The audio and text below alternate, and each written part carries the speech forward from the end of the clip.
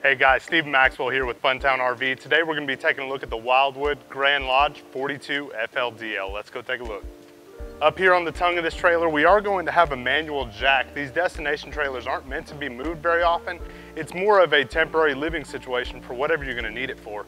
However, you do have two large propane tanks on the front to accommodate for whatever usage you're gonna be using it for. As you can see, this is gonna be a very large travel trailer. This is gonna be a destination setup.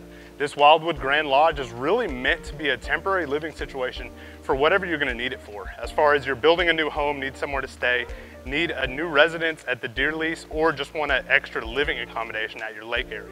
This trailer is going to have a large residential sliding glass door. Really gives you a residential open feel for this trailer. It is still an RV, so you are gonna have your 12 volt electrical awning that's gonna come out. It is by Solaire, does have full warranty on it, and it is gonna have an auto dump feature for rain. Moving along the side, you do see we still have our waterproof Bluetooth speakers outside. These are gonna be really nice for your campground or wherever you're gonna be using it at.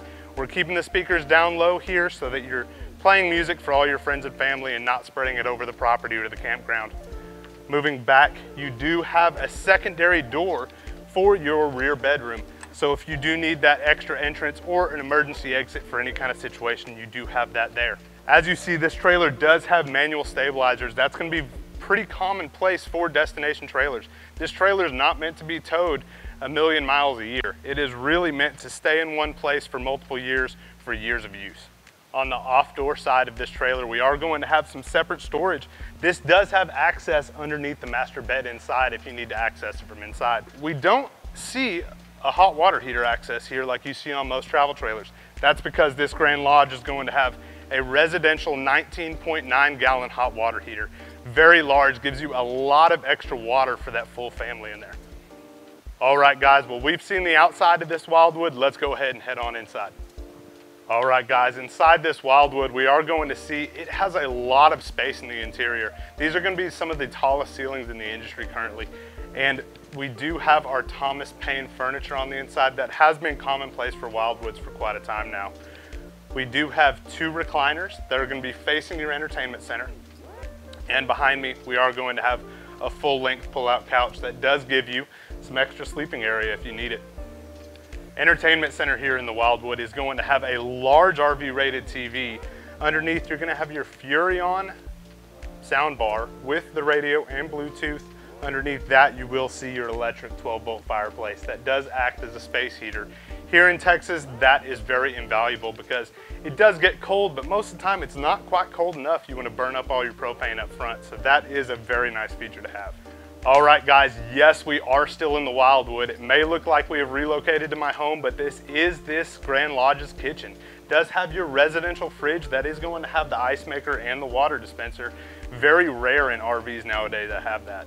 You are gonna have a double basin sink down here. Both basins are very deep and stainless steel, easy to clean, gonna be very easy to use during your camping trips. Over here you do have your Furrion three burner stove that is gonna run on propane as well as your oven down underneath. Another rare thing you don't see in RVs very commonly is going to be a nice large pantry. It might even look like the pantry you have at your home. Got plenty of storage in there for all your food.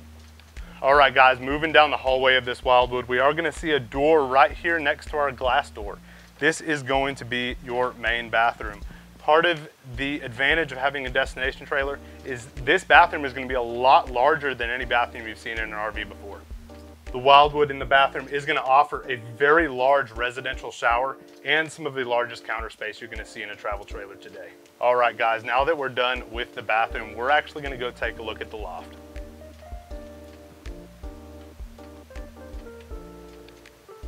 All right guys, up here in the loft of the 42 Grand Lodge, we are going to see two lofts. This one is gonna be the sleeping loft. Gives you a little bit of extra space for sleeping, TV hookups, and a little bit of storage.